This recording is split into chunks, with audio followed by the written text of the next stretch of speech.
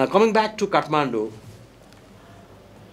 in this scheme of things, who were the actors and what are the kind of actions that went on? I just present some snippets a little bit of dramatized here. In 1970s, early 1970s, government of Nepal uh, sought and took loan from the World Bank for improving drinking water and sanit sanitation, a sewerage system in Kathmandu Valley. As expected, there was no quality improvement. Uh, the level of service continued to be poor. And of course, people started to say, you know, we've been investing so much, but we don't get water supply in our taps, sewerage system don't work, etc., etc. And then the press begins to write. We had no democracy then, so there was a muted kind of a voice. But still, the pressure was sort of tremendous at that point in time. And then the government in 1986 formed an independent commission, perhaps first time in its history, a parliamentary commission. We had no parliament, it was Rashtriya Panchayat then. And my colleague, Dipakji, he, he just had been back from Berkeley after his education. He was inducted into that commission. And uh, one was uh, additional secretary in the government and a member of the parliament who recently died, Mr. Birendra Kesari Pokhriyal.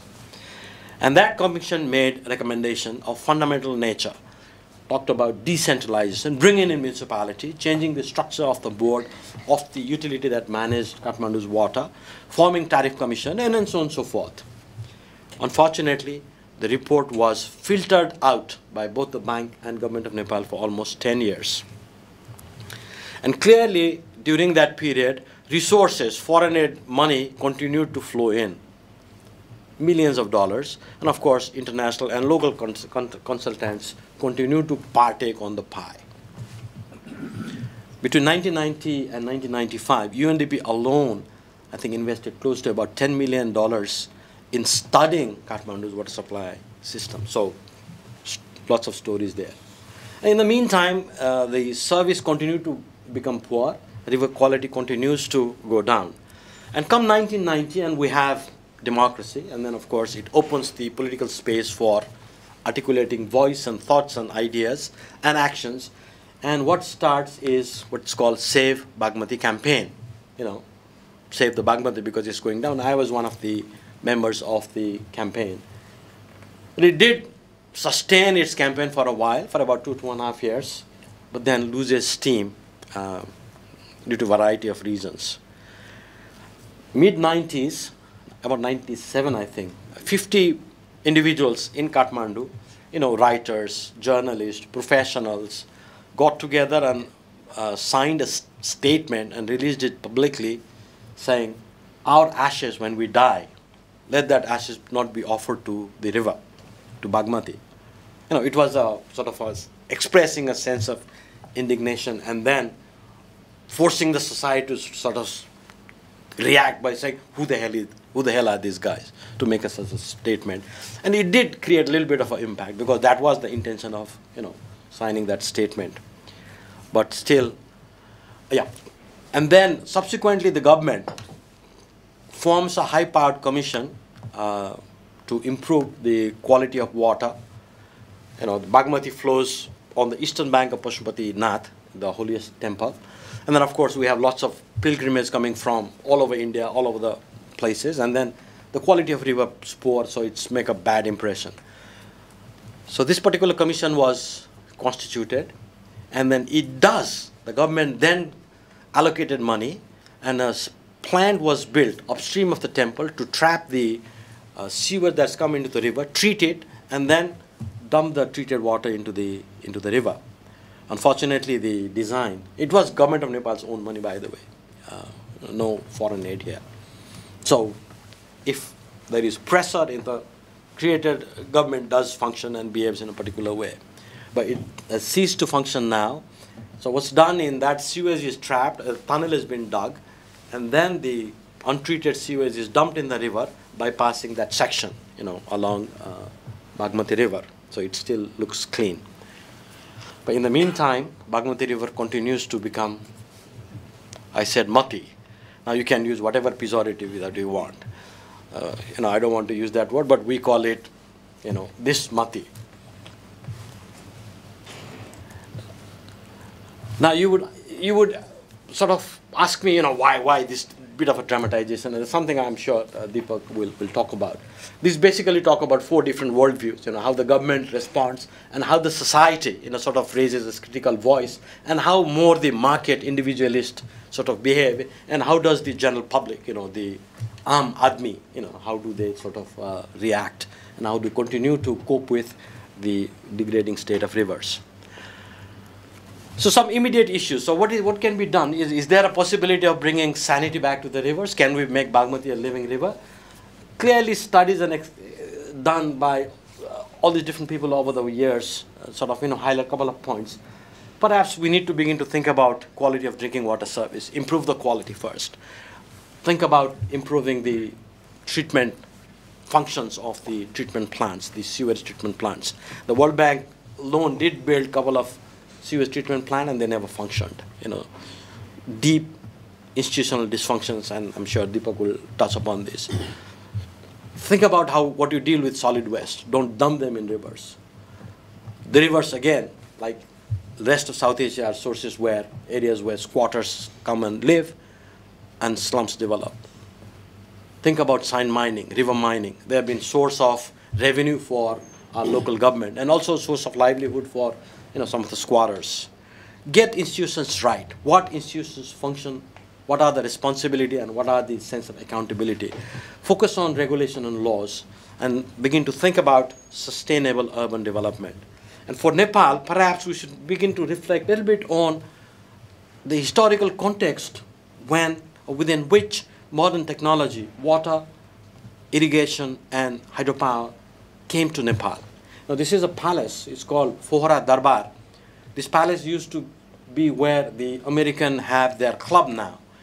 You know, this used to have a fountain uh, with you know rose water. The first drinking water project in 1881 was built to bring water to this uh, palace. This was uh, a kind of a, you know where drama would be set for the prime minister, Mr. Bir Shamsher. So modern technology made advent to Nepal as an element of luxury, not as a means of production. So perhaps that historical distinction is something we in Nepal need to begin to think about how we think of modern technology and our institutions that manage this technology. And perhaps we need to begin to think about a new future, imagining a new future, not just for Kathmandu, but I think broadly for, for South Asia. And we need to begin to think about improving our public health system. This is broadly related with water, rivers, the West, sanitation, and, and so on. Think of an approach that ends mixing of the three types of fresh West into, the, into fresh water, the yellow, the gray, the black, and the yellow. Begin to think about uncoupling human economic development from this whole fixation with water-based waste disposal system. I think it's been a civilizational folly that human civilization did.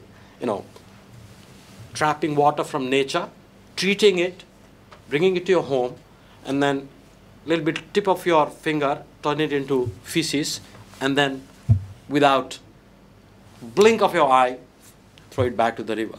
I think that's, that's that's something we need to begin to think seriously as human civilization. And clearly the infrastructure, the cities are going, is there a way we could think about our urban infrastructure to become a kind of a net contributor to ecosystem services? Is that a future that we can think about? And then clearly as climate change is happening, the infrastructure and the future that we think need to be robust and resilient under variety of climate conditions. and perhaps to, to, to do, do that, we need to begin to be asking some questions. How can we make cities infrastructure generally, and how can we recraft to restore the natural capital and ecosystem services before the city began experiencing degradation? Is that a possibility, or that's kind of a transformational change which is unachievable? Or is it, can, is there a point from which we can make that beginning? Can we begin to re-engineer our urban landscape and infrastructure to make it a living space where you know you do a good living? And then how feasible it is to begin to conceive of a cityscape from such a perspective? Clearly i have no answers but then uh, we need to make that beginning somewhere. And then let me end by sort of saying in South Asia, we consider our rivers to be pure. The rivers washes our sins. You know, we have conferences we, where we go, we worship river, we take dip. We go to Banaras, everybody, every Nepali comes to Banaras, has to take a dip. Many, many years ago, we are there with our families. And of course, Dipak son is here. And then we force these guys to take a dip. And then Dipak put a finger, I put a little bit of a water in my face. Of course, our wives uh, took a bath. You know, that was the state of the river. So the question, therefore, is why are the sections of our river? Not all rivers are dirty, as Mr. Iyer was saying, but why some sections of many rivers are polluted, dirty, and degraded? The question is, is there a sort of a notional difference between physical purity and spiritual purity in South Asia? Is that something we need to be thinking about? You know, if rivers are pure, wash sins, they have to be pure. They have to be pollution free. You know, they have to be there in their sort of natural form. Perhaps then we could begin by uh, a new slogan um, uh, no human waste in water cycle. Uh, a beginning. Because if we're not careful, if we are not careful, we may end up depriving our children, you know, the fun, the learning, and the opportunity to good as a good person. You know, I don't want my grandchild to be sitting on the bank of Bagmati and say, Jesus Christ, whatever, whatever he swears. Oh my God. My grandfather had a chance of looking at this river when it was pure, but now it's absolutely filthy. And, you know, I don't want to swear. A good person, a global citizen, perhaps, and a well grounded individual. Otherwise, they may have to be happy, content with watching computer generated animations of our rivers and our landscape. And that's bad news. Let me stop at this. Thank you.